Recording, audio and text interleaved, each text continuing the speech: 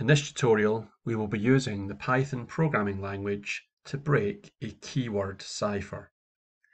We have a ciphertext uh, that has been encoded using a keyword, but we do not know what the keyword is, and so we need to try to break the message using a technique known as frequency analysis. When we look at breaking ciphers, uh, the, there is a a sliding scale of how difficult this is going to be. A very simple cipher like atbash, which reverses the alphabet, can only be broken in one way and only encoded in one way. So it's very easy to break such a cipher.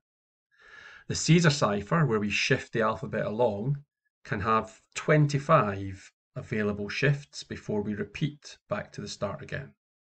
So again, brute force is an easy way to tackle this kind of cipher. But a keyword cipher could use any kind of keyword at all. It could be a word from the English dictionary, it could be a name, or it could just be a random jumble of letters that makes the initial keyword. So this is a very difficult cipher to break, but we can use Python to help us with this process. Uh, this tutorial uses Replit to do the Python coding and you can log on to repl.it for free and use that to make your code. One of the things that we will be using is a special Python library called collections and one of the functions in there called counter. This simple program shows you uh, what happens if we give a message and then use counter for that message, what it does is it counts how many occurrences there are of each character. So we can see there are six A's, four B's, two C's, and one D in this message. And this will allow us to perform frequency analysis uh, with the computer doing the counting for us. Here is our starting point for decoding the message. So the message here, the ciphertext, quano, uno, quoi, bi, quao, and so on, is clearly gibberish.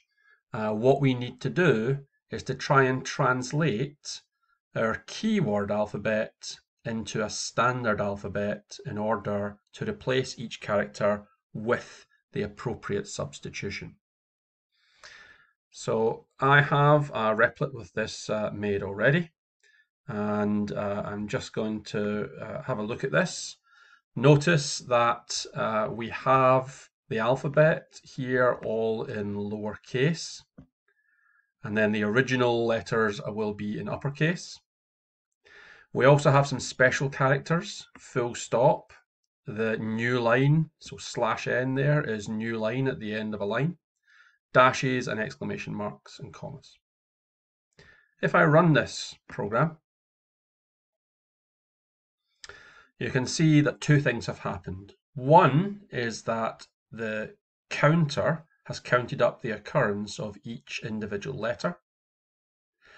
And the other thing is that the capital letters have been replaced with their lowercase equivalents uh, to make the decoded message.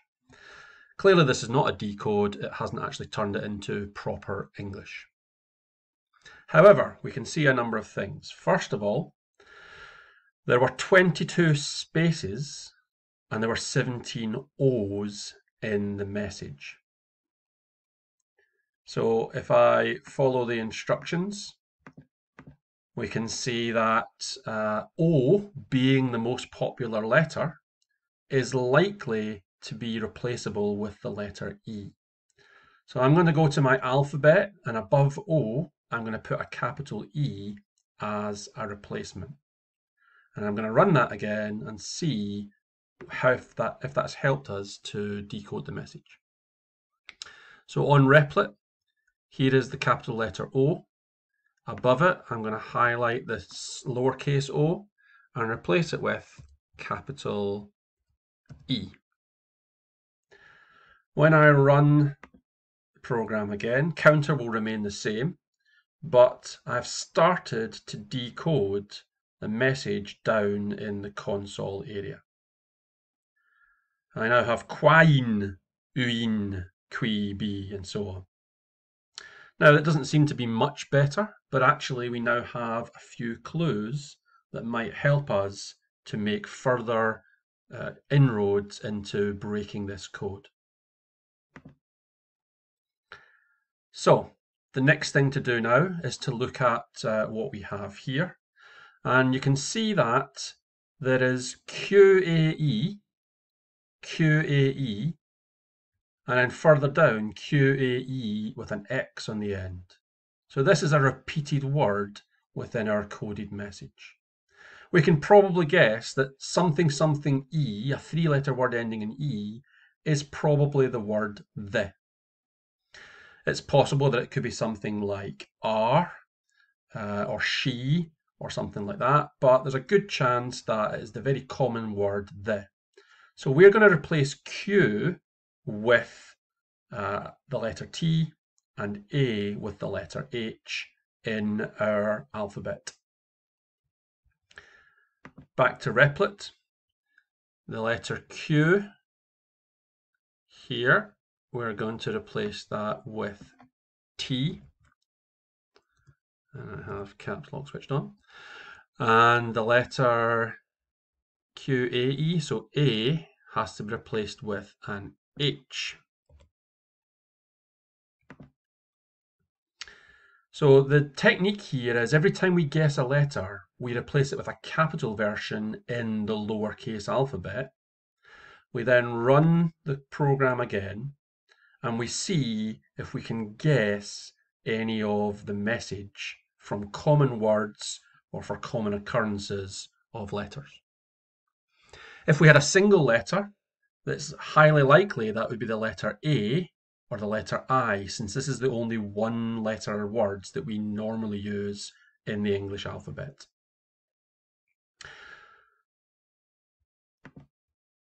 Okay, so where have we got to? Well, the very first word there, T-H-E something E, uh, if we think about possible options there, that could be the word these or the word there. So let's start off and assume it might be these. If we replace the lowercase n with an uppercase s, then we might be some way towards breaking our code. So I'm going to try that. Uh, lowercase n replaced with uppercase s. And then I run my program and I get these something, something, something, something. Now, this second word, something ESE, are there any four letter words that start with a letter and then have ESE? I can't think of any four letter words that that could be, so maybe that was a bad guess. I'm going to put my S back to an N and I'm going to try the other option, which was maybe lowercase n was going to be replaced with an R instead to make the word there. So n, instead of S, I'm replacing it with R. I'll take caps lock off since that's constantly making mistakes. And if I run this, I now get there something. Now, can we think of four letter words that begin with something and then have ERE? Uh, there's things like uh, where, there, where sounds like a good start. Uh, there are, there's other words like mere or um, here, there, here. But there, where sounds as if it might be a good start to a sentence. So let's assume that that is now a good replacement. The N replaced with R is making progress. Let's go ahead and take that there where uh, idea. So we need to replace uh, in our code here, a U is going to replace with a W. So I go to capital U, I go above it, I replace little u with capital W. I run again. And then we start to uh, pick apart any new clues that we have. There were something, they were te and something that ends in I there. Okay, having a look at some of the things, uh, one of the clues we can use from English or frequency analysis is there are only certain letters that are doubled. Things like E and T and O can make E, T and U. And we have one word that has a double T in the middle of it and an E at the end. We've also got uh, a word, capital R, and then ends with a double letter, and a similar word where it's reused. So there are a number of possibilities for RJGG. It could be something like riff or rough or rill or roll or ross or russ. Uh, so we think about all the possibilities. Um, we are then looking to do a replacement that might make sense.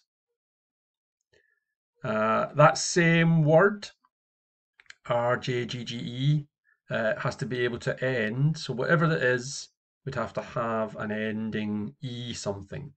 ES or ED perhaps. So the next thing I'm going to do is we're going to try replacing G with L. So that we'd get rill or roll as a word here. And let's try replacing uh, B with a letter I.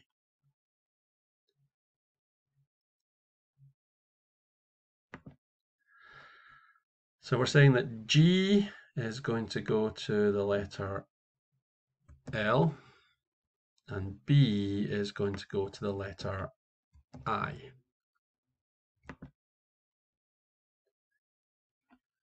So there were something, something, something, the something, something, the little something, and we've got R, that's rill or roll, so I reckon that capital J, there's a good chance that that's going to be roll. So I'm coming up here to J. I'm going to replace that with an O.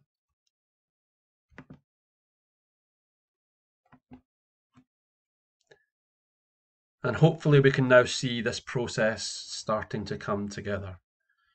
Roll otter, there's an, a word here uh, what four letter word can have a second letter in there that would make sense? Ober, ochre, oder, and so on.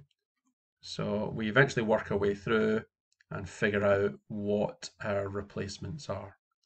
We can also use the frequency chart here to show the common letters. So um, we can see, for example, that the most common letters are things like E and T we've already got, but A, O, I, and N are fairly common. And if we look back at our counter, our most common letters are things like J and Q and N. So these are good candidates for being the other vowels. Uh, there were T, E, I. I is a common letter. So let's replace I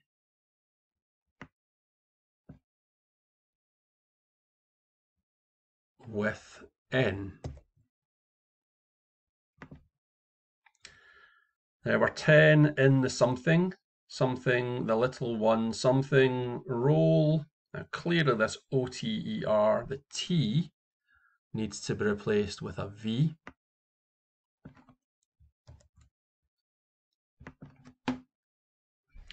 There were 10 in the something, something, the little one, something, roll over, roll over, Po, Vex, Cool. What two letter words do we have that have got an O?